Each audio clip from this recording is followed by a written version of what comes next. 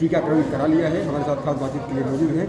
ये साहब क्या कहेंगे? आपने टीकाकरण करवाया। ऐसा अनुभव हैं और एल अभी स्वास्थ्य विभाग की बहुत ही परिश्रम कर रहे हैं और उनके द्वारा हेल्थ केयर वर्कर्स का काफ़ी लोगों को टीका लगने के बाद अभी आज फ्रंटलाइन वर्कर्स जो अन्य विभाग के लोग हैं जैसे राजस्व पुलिस और म्यूनसिपल बॉडीज इन सब का भी शुरू हो रहा है। अब तक टीकाकरण बिल्कुल सही चल रहा है और हम लोगों का भी वैक्सीनेशन शुरू हो गया है। ना कोई साइड इफेक्ट्स है। प्रोसेस बिल्कुल स्वास्थ्य बिल्कुल स्मूथ है। और मैं स्वास्थ्य विभाग को और मेडिकल कॉलेज को स्टाफ को पूरी तरह से बधाई दूँगा। और आगे भी उनको यथावधि प्रयास को आगे रखने के लिए भी मैं उनसे अपेक्षा भी करूँगा। आप आगे घंटे वैक्सीनेशन की प्रक्रिया कैसा लग रहा है आपको कराने? ये बिल्कुल ठीक लग रहा है। आज पुलिसकर्मियों की जनपद मेरठ में वैक्सीनेशन की प्रक्रिया शुरू हुई है। इसमें हमारे टोटल 125 पुलिसकर्मियों को आज लगाया जाना है जिसमें हम हमारे एसपी सिटी एसपी क्राइम सभी लोगों ने वैक्सीनेशन करवा लिया है और किसी प्रकार की किसी कोई भी समस्या उत्पन्न नहीं हुई।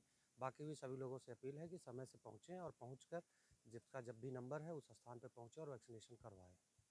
अभी आपने वैक्सीनेशन का काम किया है जो आपको कैसा फील हो रहा है? सामान्य महसूस हो रहा है किसी प्रकार की कोई दिक्कत नहीं है। हम लोगों ने वैक्सीनेशन करवाया उसके बाद आधे घंटे ऑब्जर्वेशन रूम में हम लोग को बैठाया गया। वहाँ पर सारी चीज़ें चेक की गई। सामान्य है किसी तरह की कोई समस्या नहीं है। किसी तरह का प्रिकॉशन के लिए बोला है? नहीं कोई प्रिकॉशन नहीं सारी चीज़ें ठीक हैं।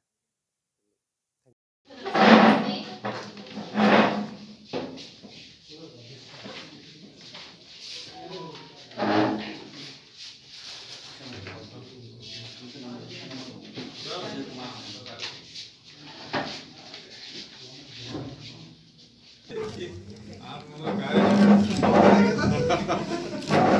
इधर आइए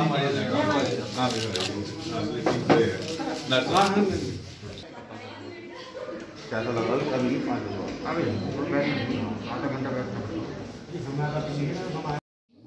सर ये कार्ड संभाल के रखना और सर नेक्स्ट टीके के लिए अट्ठाईस दिन बाद हाँ आपको कॉल आ जाएगा या मैसेज आ जाएगा।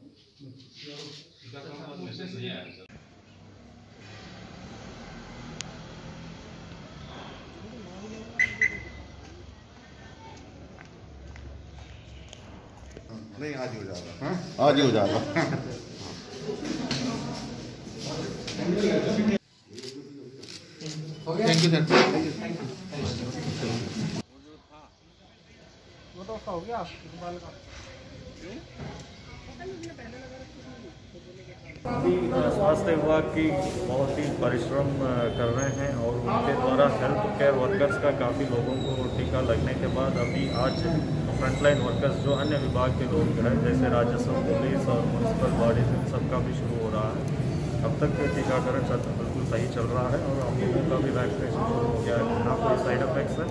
प्रोसेस बिल्कुल स्वास्थ्य बिल्कुल स्मूथ है और मैं स्वास्थ्य विभाग को और मेडिकल कॉलेज को स्टाफ को पूरी तरह से बधाई दूँगा और आगे भी उनको यथावधि प्रयास को आगे रखने के लिए भी मैं उनसे अपेक्षा भी करूँगा। आप घंटे